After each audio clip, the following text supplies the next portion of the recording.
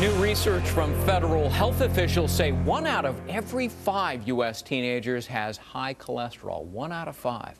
And it's increasing their risk of heart disease in the future. New evidence that obesity is making more children prone to illnesses once primarily thought to be limited to adults. Joining us now is the author of the F Factor Diet Discover the Secret to Permanent Weight Loss, nutritionist Tanya Zuckerbrot. Good to see you.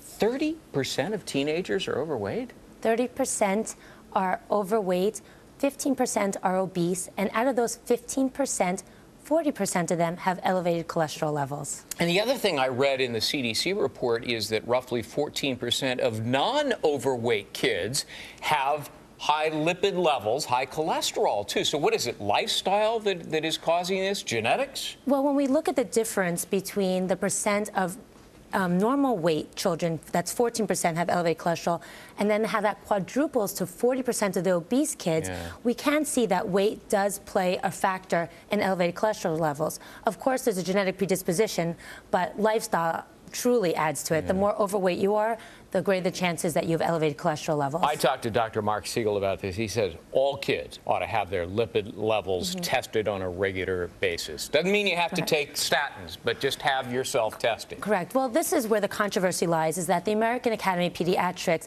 has new guidelines set. They believe that all children over the age of two should get their cholesterol tested.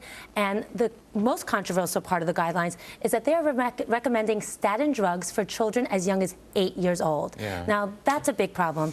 Um, first of all, this has not been tested as far as long-term use of statins, right. especially in someone so young. We don't know if there's going to be cognitive impairment, growth development issues.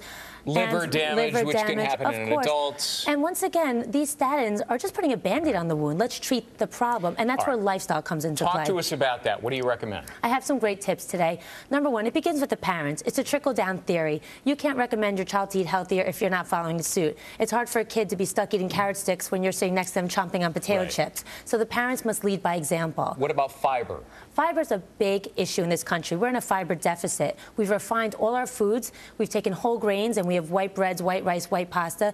These foods not only you know, increase our sugars and make us come crashing down, increasing the risk for cardiovascular disease, but refined carbs also increase triglycerides, which are part of the cholesterol lipid panel. All right. So replacing refined carbs with high fiber carbs is a great step Soft to lowering drinks, cholesterol. bad idea, right? Yes. An average big gulp at 7-Eleven, we're talking 800 calories. If you have a child or a teen who's drinking one a day and they cut that out, they could lose 80 pounds in one year. And a nutritionist, a nutritional breakfast as well as lots of exercise is also on your list of tips. Thank you so much for being with us, Tanya Zuckerbrot. Good My ideas. Pleasure.